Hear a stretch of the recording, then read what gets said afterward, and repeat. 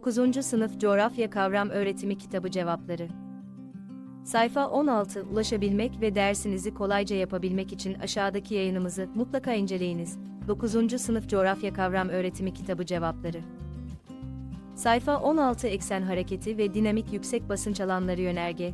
Aşağıdaki metni okuyarak soruyu yanıtlayınız. Isınan hava genleşir ve yükselir. Dolayısıyla bu hava kütlesinin yere uyguladığı basınç azalır.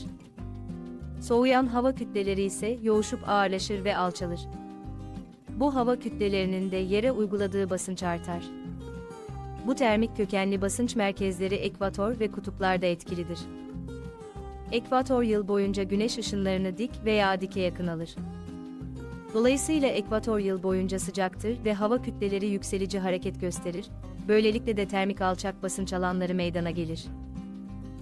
Kutuplarda ise tam tersi bir durum söz konusudur. 1. Dönenceler çevresi, 30 derece enlemleri civarı, dinamik yüksek basınç alanlarıdır. Aynı zamanda bu alanlarda çöllere de sıkça rastlanır. Yukarıdaki metinde sıcak alanlarda havanın genleşip yükseldiği ve bu alanlarda alçak basınç merkezleri oluştuğu söylenmesine rağmen söz konusu sıcak çöl sahalarında yüksek basınç oluşmasının sebebi ne olabilir? Cevap, dünya üzerindeki basınç alanları kabaca dinamik kökenli ve termik kökenli olarak iki türe ayrılabilir. Termik basınç alanları ekvator ve kutup noktalarında oluşur ve dünyanın küresel şeklinin sonucudur. Dinamik kökenli basınç merkezleri ise dünyanın eksen, günlük hareketinin sonucudur. Dinamik basınç merkezleri, eksen hareketinin sebep olduğu merkez kaç kuvvetinin etkisiyle savrulan hava kütlelerine bağlı olarak ortaya çıkar.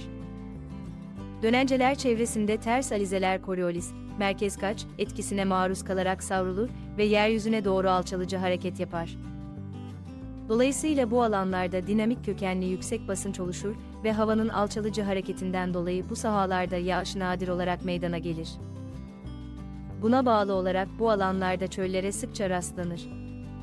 Fakat buradaki çöl sıcaklarının dinamik basınç üzerinde bir etkisi yoktur. Çünkü basınç merkezi termik değil dinamik kökenlidir.